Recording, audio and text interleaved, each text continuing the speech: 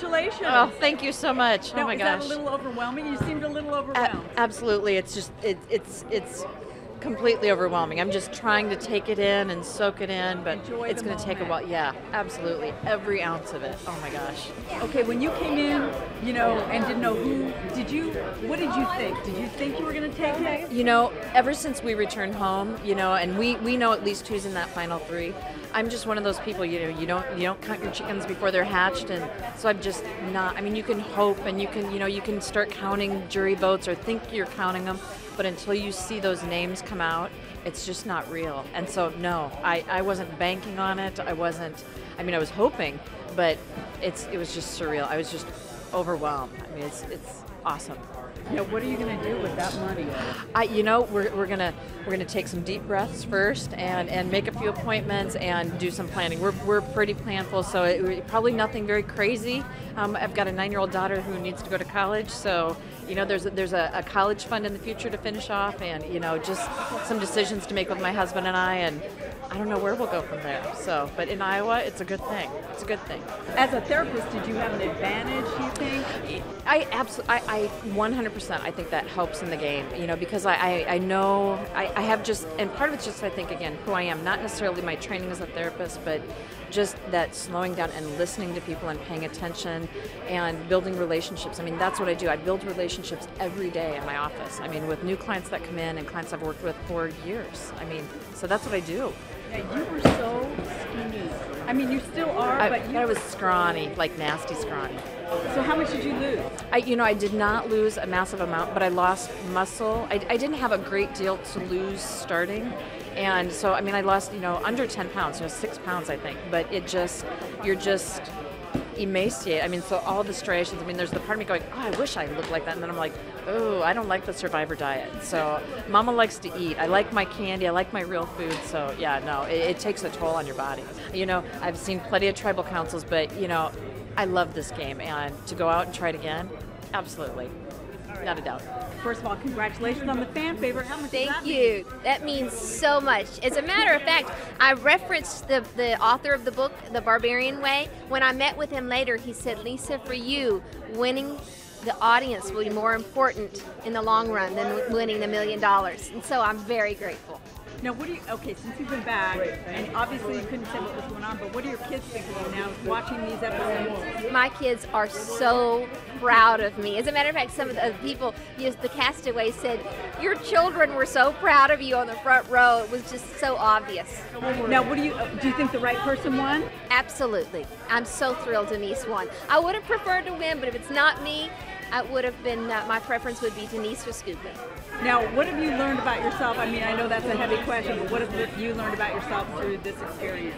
I've learned I really put a lot of stock in wanting people to like me and not judge me, but that'll drive you batty. And that if I can accept myself, and I know God already accepted me, then it really didn't matter what everybody else felt. Would you ever do this again? I don't know. I mean, it's kind of like childbirth. You may need to give me a few more months to recover before you ask. How are you feeling, and what is that? Did you get that over there? I didn't. I actually got it in Dallas. Can you believe it? You know, I was I had a million bug bites from the Philippines. I had two mosquito bites in Dallas, and apparently one of them was tainted. With okay, tell me because I'm not on camera. Okay. Yes, and so I was just really exhausted, sleeping 10 hours a night and tired by 6 o'clock. I went to the doctor. I said, run whatever blood tests you have. I, something's not right. And so it came back West Nile. You know, it's kind of like a virus, like mono, even. You know, you just have to let it work out your system. And there's tiredness, and I mean, it can be worse, but for me, it'll just take some working out of my system. I guess in the scope of the game, the right person always wins because the jury votes. Your actions decide how it goes. There's so much more to this game than I had first envisioned.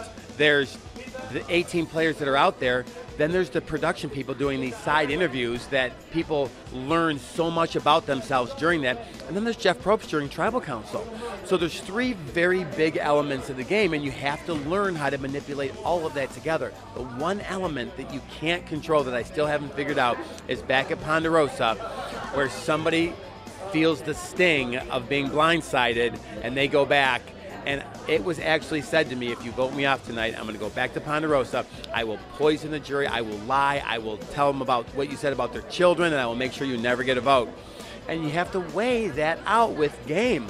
And everything matters: who you sleep next to, and who you eat next to, and who get, who you, who you get water from, and how you walk, the order which you walk to challenges.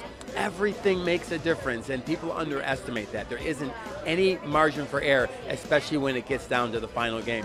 The perception after watching is that you are very accident prone. is that an accurate? I mean, or is that editing, or what do you think?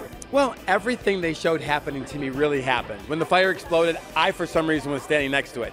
When someone got headbutted by a whale shark, I was the only one 25 feet down at that moment, so I was I put myself in that position for some reason.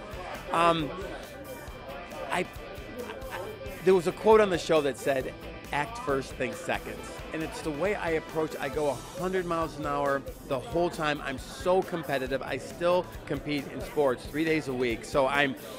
It's my it's my nature to go hard. I underestimated the fact that you can't clean a wound out there. And the infection in my shoulder got so bad, it became potentially game threatening. And the slice in my foot, you know, could have potentially affected me during challenges. I mean, it was such a. Uh, I had to readjust how brazen I went through this game because you can't keep a cut clean. Things don't heal out there. The humidity is so high and the dirt just keeps getting in it. I went out there, I knew who I was. It wasn't like an emotional roller coaster like it was for Lisa. I was just myself the entire time. I knew that I was there to do a job. I just came up a day short. Would you do this again? And because I'm so damn competitive, to come this close and like to be uh, God, so. I couldn't. I don't like having to say bitter, but that's absolutely what it is. I lost. Like, it's not at the people. It's about the game. Like that. I was this close and lost. I'm a huge fan of the show. There's no way. I don't think I could turn it down if I uh, was offered to do it again.